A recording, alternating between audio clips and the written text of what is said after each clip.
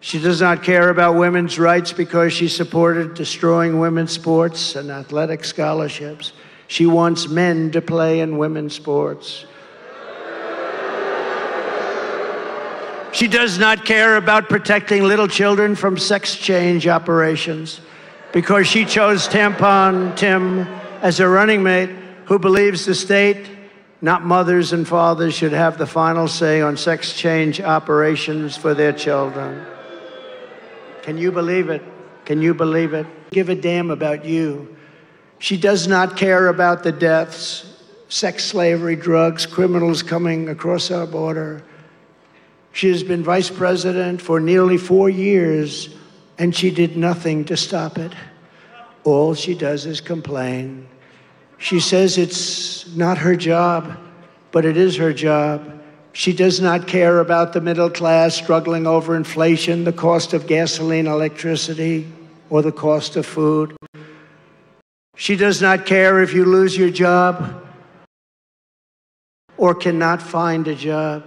She does not care if you have to run up your credit card. She does not care if your family are struggling and she did absolutely nothing to fix it. She's the vice president, but she just does not care. She does not care about women's rights because she supported destroying women's sports and athletic scholarships. She wants men to play in women's sports.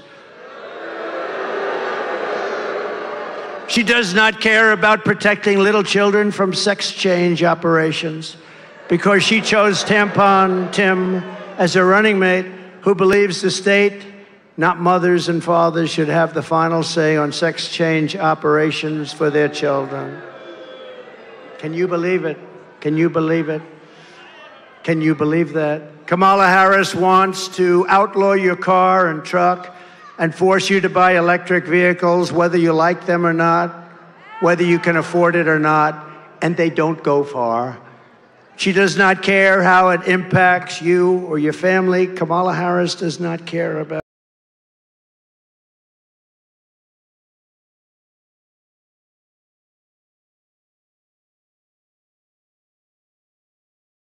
Your pension for, for your entire working life. That's true. She wants to destroy your private health care, even if you like it, even if you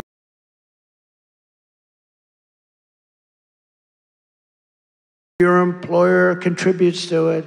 And she wants Washington, D.C. to make your medical decisions. She wants Washington to decide what procedures and medicines and care you should receive. Whether or not you like it is not important. Kamala Harris had nearly four years to show us who she is. She is an uncaring politician with a radical ideology. She is a Marxist. Despite her campaign of lies and flip flops, we know who Kamala Harris is. We know by her actions and we know by her inaction. We know she does not care about working people, about the middle class, about any of our great American citizens. She does not respect you. Ask the families of the 13 service member heroes who died during the surrender of Afghanistan if Kamala Harris cares about our young people, just ask them that question. Does she care about our military? The answer is no. Ask the cops in the street trying to protect you from murderers, rapists, and thugs if Kamala Harris cares about law abiding citizens. Ask the families of women raped and murdered by illegal aliens and the teenagers cut to shreds by gangs from El Salvador and Venezuela if Kamala Harris cares about you. Harris has opposed school choice for poor inner city kids. She's opposed police in schools to protect your children. And she's defended stocking school library shelves with filthy graphic books. She refused to prosecute pedophiles who molested your children. When she was DA and AG in California, two places she absolutely destroyed. Does this sound like someone who cares about children? Kamala Harris has failed you. She has failed as vice president.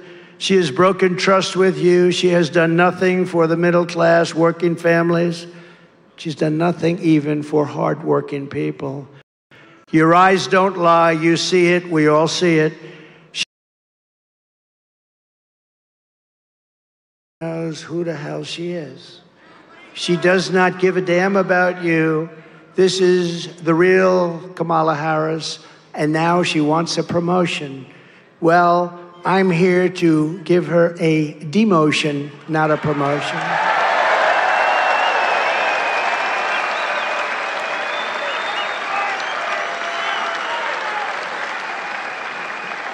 She can hide and she can lie all the way through, and with her surrogates and the corrupt media. But the truth is coming out. Right now, it's already coming out much faster than I thought. The American people are smart. They will not be manipulated by Hollywood, the fake news media, and all of the advertising. And you deserve a president who respects you, talks to you, who levels with you, and who always has your best interests at heart. This November, we are going to tell Harris that we've had enough, that we can't take it anymore. You've done a terrible job. Kamala, you're fired. Get out, get out.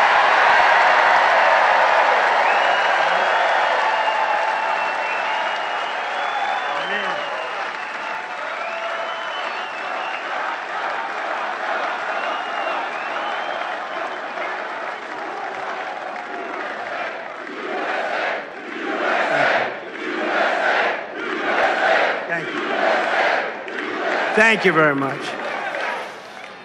We're pleased to be joined today by